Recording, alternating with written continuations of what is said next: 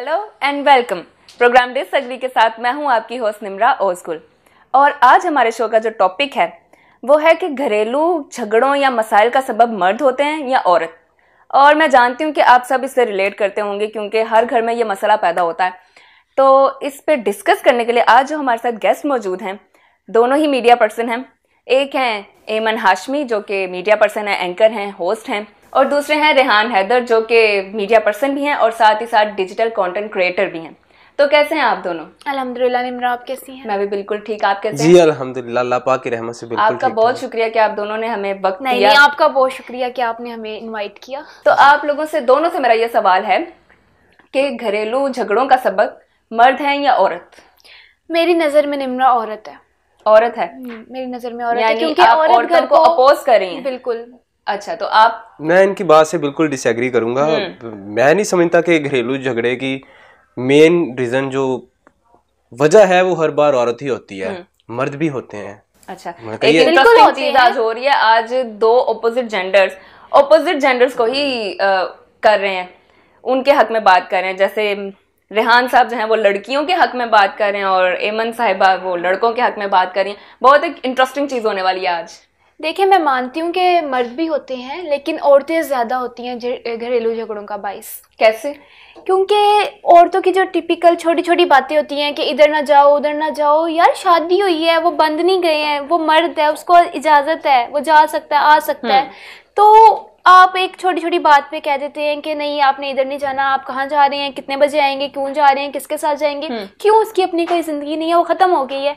हम अपने आप को एक मर्द के ऊपर मुसलत कर लेते हैं। तो आप क्या कहते हैं क्या औरतें अथॉरिटेटिव हो रही हैं या, स्पेस नहीं दे रही हैं मर्द ही अथॉरिटेटिव है? देखें जी मेरे मुताबिक तो मर्द को पैदाइश से ही सिखाया जाता है कि वो डोमिनेंट है। हम्म।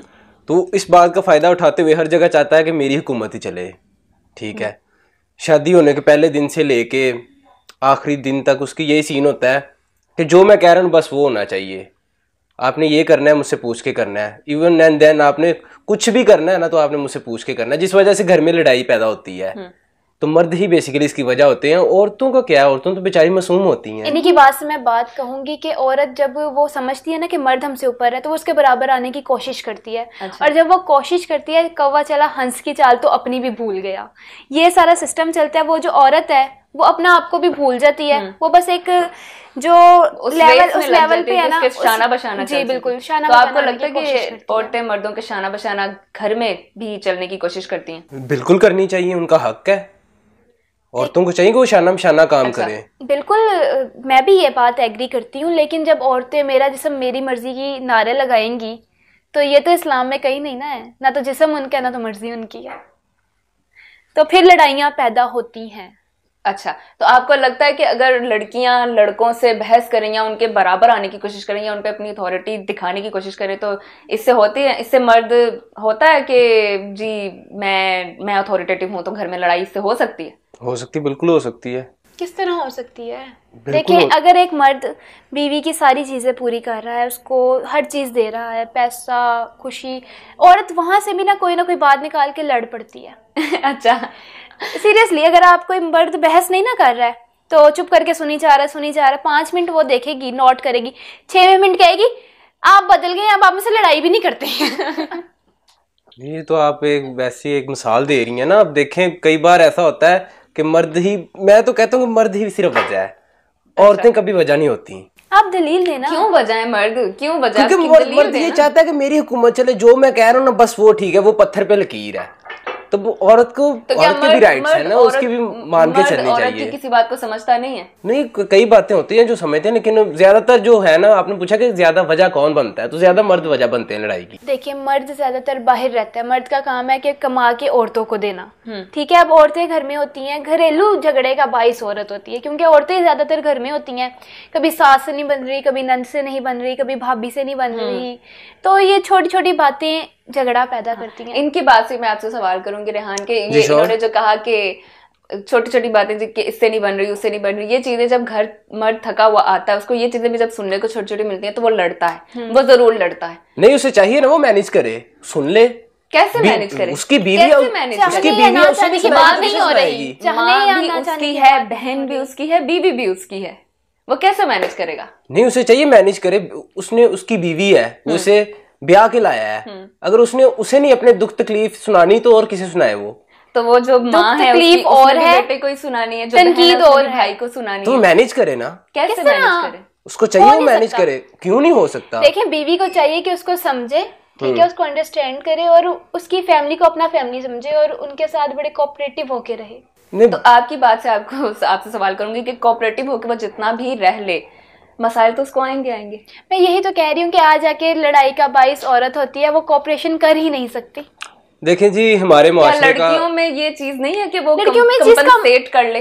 ये चीज़ कम पाई जाती है। क्योंकि हमारा जो माशरा है वहाँ पे औरत ज़्यादातर घर में रहती है। मैं ये नहीं कह रही कि बिल्कुल जाहिल माशरा है अगर पढ़ती भी है तो पढ़ने के बाद उनकी शादी कर हम्म। दी जाती है। उनके अंदर ये इन्वायरमेंट क्रिएट ही नहीं होता कि कॉपरेट कैसे करना है। नहीं घर में घर में जो खातन होती हैं वो उनको कोऑपरेट करना कंपनसेट करना कॉम्प्रोमाइज करना सिखाया सिखाती जाता। हैं नहीं सिखाती हैं। सिखाया जाता। हमारे माशरे में बस वो हमेशा से लड़ाइयाँ झगड़े कभी नानी की दादी के साथ मामी की चाची के साथ फूफो की ताई के साथ वो बस लड़ाइयाँ देख के आ रही होती हैं और आगे जाके भी उनका काम होता है कि बस हमने लड़ना है। मेरी चा, मेरी चाची ने फलानी के साथ ये किया था मैं भी इसके साथ वैसे करूँगी तो ये कट जाएगी। पता नहीं आपने कहाँ पे देख लिया मैंने कभी किसी ये बहुत टिपिकल बात करी है बिल्कुल सही बात कर। रही नहीं मैंने औरतों की बातें करते कभी नहीं सुना। आप औरत नहीं ना इसलिए आपको पता नहीं है कि औरत कितनी गंदी पॉलिटिक्स करती है। देखें हमारे माशरे का अलमिया एक ये भी है कि अच्छा दामाद वो होता है जो आपकी बेटी को खुश रखे और अच्छा बेटा वो नहीं होता जो आपकी बहू को खुश रखेगा। यानी कि किसी की बेटी को बेटी नहीं समझा जाता। बिल्कुल। अच्छा आपसे सवाल करूँ कि आप कह रहे हैं कि लड़कियाँ या औरतें जो हैं वो बड़ी गंदी पॉलिटिक्स करती हैं तो क्या लड़के या मर्द नहीं करते? करते तो हैं। सिचुएशन पे डिपेंड करता है सिचुएशन पे डिपेंड करता है लेकिन ज़्यादातर रेशियो कि खातन जो है वो जेलस होती हैं खातन किसी की लेग पुलिंग करती हैं खातन किसी को किसी का रैंक बर्दाश्त नहीं कर सकती। तो मैंने ये चीज़ मर्दों में भी देखी है बल्कि लड़कियों से ज़्यादा देखी है नहीं ये आपने गलत देखी है। एक सिचुएशन भी होता है ठीक है? तो लेकिन जो नॉर्मल है उसकी रेशियो औरतों में ज़्यादा पाई जाती है कि औरतें ज़्यादा झगड़े का बाइस बनती हैं। आप लड़कियों की या औरतों की स्टीरियोटिपिकल सोच के हवाले से बात करें। बिल्कुल ऐसे। घर घर में रहने वाली। घर में रहने वाली। जो बाहर रहती हैं उनमें ये चीज़ फैक्टर कम पाया जाता है। नहीं जेलसी फैक्टर तो उनमें भी आता होगा अपने अपने पोस्ट के हवाले से अपनी जेलसी फैक्टर की बात नहीं हो रही घरेलू झगड़ों की बात हो रही है। ठीक है वो पोस्ट तो वो भी तो सबब बनता है ना जेलसी भी तो सबब बनती है। अगर दो खातन घर में नंद और भाभी दोनों एक दूसरे से इसको बड़ा अच्छा सूट लेके दे दिया मुझे नहीं लेके दिया तो जेलसी फैक्टर तो आ गया बिल्कुल जेलसी फैक्टर Jealousy आता है मैं तो मेरा भी तो यही लड़ाई पॉइंट का। है मेरा भी तो यही है कि हर जगह लड़ाई झगड़े की सुने अभी इन्होंने बात की कि मुझे अच्छा सूट लेके दिया और उसे नहीं लेके दिया।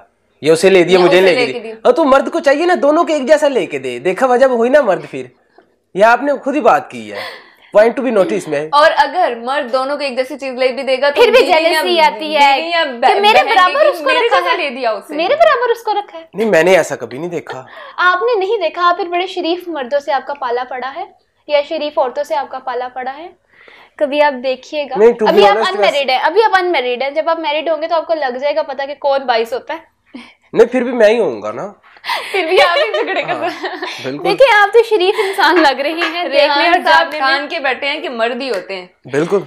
उन्होंने मान लिया आगे भी मैं ही शादी शादी के बाद भी मैं ही सबब हूँ अच्छा शादी से पहले भी अगर आप ऐसे नहीं शादी से पहले क्या आप गारंटी देते हैं आप गारंटी देते हैं कि आप अगर आप बाईस हैं तो फिर आपकी लड़ाई नहीं होगी। आप अपने आप को कंट्रोल करेंगे हाँ बिल्कुल नहीं होगी। नहीं होगी? नहीं होगी। क्या गारंटी देते हैं आप इसकी? मैं गारंटी दे रहा हूँ? मैं बात कर रहा हूँ कि हमारी कभी लड़ाई नहीं होगी मैं हर बात को मैनेज करूँगा। एक हेल्दी रिलेशनशिप में लड़ाई ज़रूरी है। हाँ लड़ाई ज़रूरी होती है। घरेलू झगड़े बहुत ज़रूरी हैं। हेल्दी रिलेशनशिप के लिए वरना ताल्लुक भी ताफुन ज़्यादा हो जाते हैं।